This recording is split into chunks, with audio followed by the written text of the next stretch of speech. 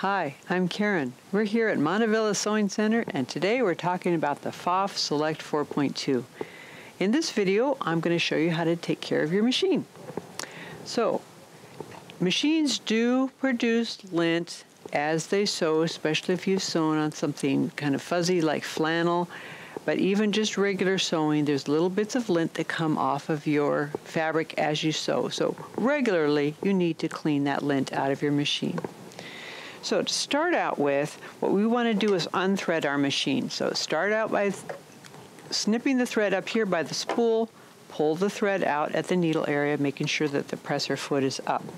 And then I'm also going to take the um, accessory tray off, get that out of the way, and take my bobbin out of there too. Now, now that it's unthreaded, we want to take the needle out and the presser foot off. Now, normally, if you're unfamiliar with sewing machines, it's probably best to turn off the light just for safety purposes.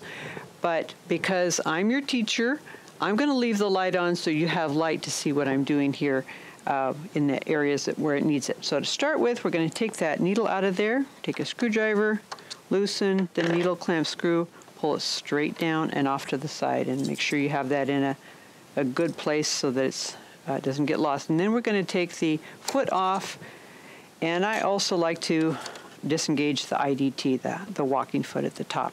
So those things are now out of the way. So to take the needle plate off, take a flat bladed screwdriver, twist that under there, move that over to the left a little bit, and it just pops right off.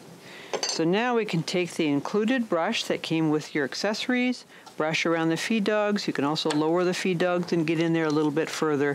Um, it's okay to use the vacuum cleaner hose attachment of your vacuum cleaner to brush out there really good and then brush in the bobbin area. Notice I have the bobbin case out. So we want to brush in there really good, especially between the feed dogs because that's where lint from flannel can build up right in there.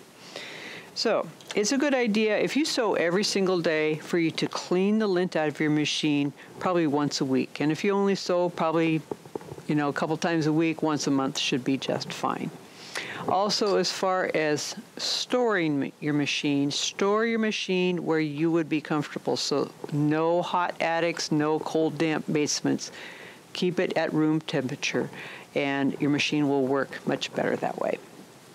And also, if you're going to go to a class and it's wintertime, don't put your machine out in the cold car the night before because it will have a hard time. Think of like joints that have a hard time in cold weather. Well, same thing with your machine. Keep it at room temperature as much as possible.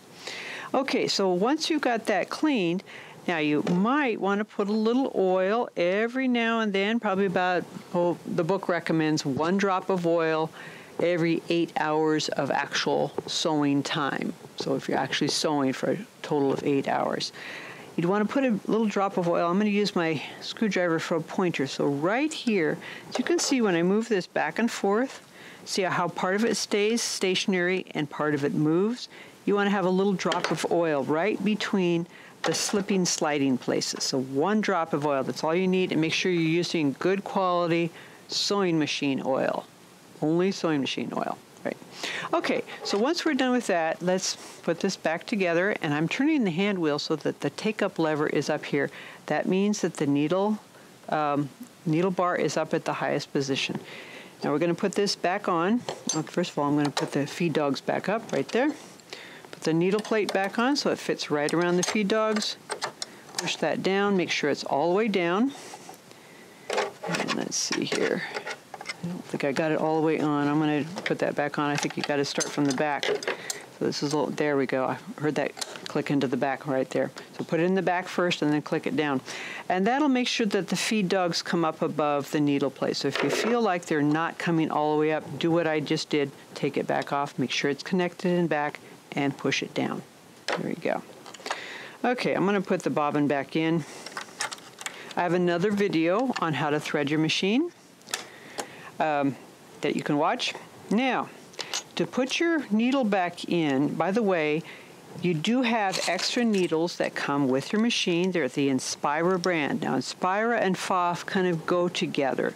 So when you need to get new needles, once you've used these up and you need new needles, get the Inspira brand. That's a good quality needle for this kind of machine.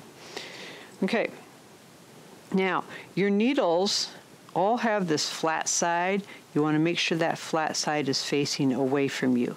Now, you can put this in using your fingers, but I like to use this little tool. It's a, it's a, brush with a needle inserter at the end. It acts like a handle for the needle. So I put that in there, making sure the flat side's away from me. Poke the pointy end right down there where it sews and bring it straight up in the center.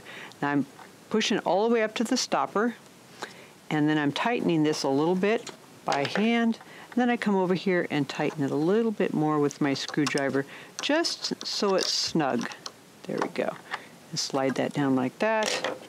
Put my foot back on using the presser lever. Just lower it down like that, lift it up, and the machine is reassembled. So you can see that taking care of your machine is fairly simple and easy to do, something that you should do regularly. Do a little more often than you think you need to, and then you'll get an idea of how often you need to do it. Maybe even put it on your calendar. You know, that might be a good idea. So I hope this video has been helpful to you. If it has, give us a thumbs up. And if you have comments or questions, you can leave those in the area down below. We have lots of other videos on our YouTube channel, so stay tuned. Thanks for watching. Bye.